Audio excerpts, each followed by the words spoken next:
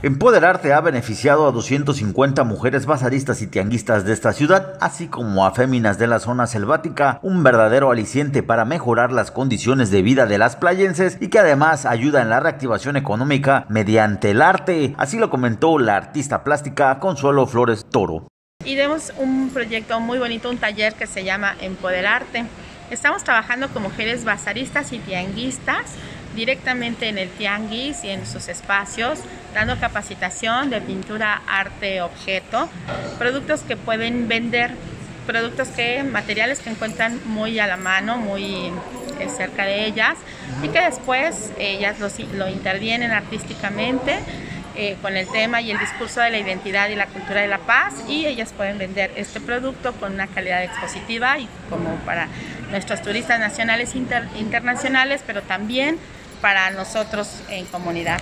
Y bueno, eh, lo lindo es que este proyecto ha ido cruzando fronteras y también con la Dirección de Agricultura y, y, Pesca. Bueno, también llevamos este espacio a las comunidades en la selva, directamente en la selva con las mujeres y ahí ya se están generando también nuevas acciones de pintura arte objeto. Aquí en el Mercadito Playa del Carmen, este mercadito que está aquí en la 6, entre la 10 y la 15, eh, tenemos espacios para que las personas puedan comprarlo. Y también en el espacio que se llama Callejón del Arte, eh, que también es la 6 bis, también entre la 10 y la 15, hay un espacio para que eh, ellas junto con los demás artesanos puedan vender este, sus artículos todo lo que ha generado en obra a precios competitivos. Aunque las mujeres son las que han reaccionado mejor y participado en este programa, el llamado o la invitación es a la población en general. Al mismo tiempo invitan a que se acerquen al mercado de la 10 para que vean las actividades y obras y se integren.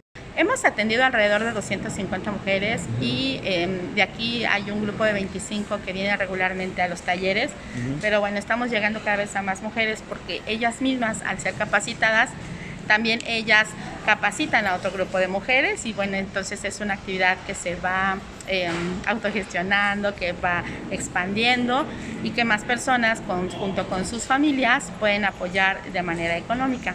Perfecto. Entonces las personas que quieran acercarse a dónde se pueden dirigir y es solamente mujeres o pueden acercarse también por ahí a otras Claro que sí. Bueno, ser artista no es cuestión de género. La invitación es para todas las personas, aunque las mujeres son las que han tenido la principal respuesta. Ahorita solo son mujeres. Solo mujeres y bueno, eh, eh, esta invitación es abierta a todas las personas.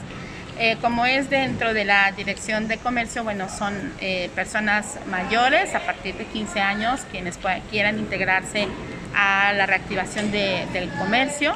Y aquí tienen espacio, pueden dirigirse a la dirección de comercio, ahí está la directora, eh, la licenciada Matilde eh, Hernández Lima, y pueden dirigirse ahí o pueden dirigirse también a la dirección de agricultura con el doctor Elmer Coronado. Y bueno, si quieren ver lo que está sucediendo en los talleres, vénganse al mercadito, al mercadito Playa del Carmen, que está aquí entre las 10 y 15 y las pueden ver a ellas en sus actividades artísticas. Con imágenes de Joel Sat para Notivisión, Edgar Olivares.